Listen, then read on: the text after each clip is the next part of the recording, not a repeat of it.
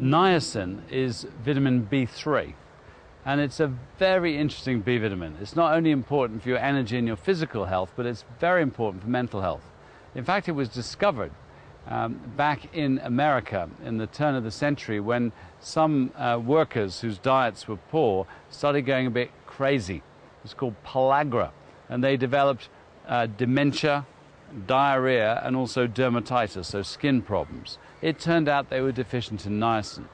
We now know that having a large dose of niacin, the RDA, that's the basic level, is 18 milligrams, but at levels closer to 1,000 milligrams, it can be very, very helpful for severe forms of mental illness like schizophrenia. And in fact, this research led to the discovery that niacin in high doses also lowers cholesterol exceedingly well. And there is an issue. When you have over 50 or 100 milligrams, niacin makes you blush. It's a vasodilator. So you go red hot and itchy for about 20 minutes. It's not dangerous. Not everyone likes it. Personally, I do because I found many years ago that I could kill a headache or a migraine by taking niacin.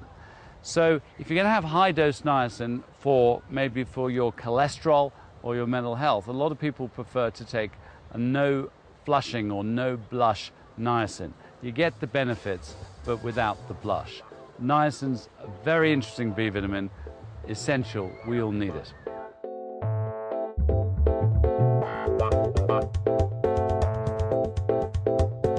Bye.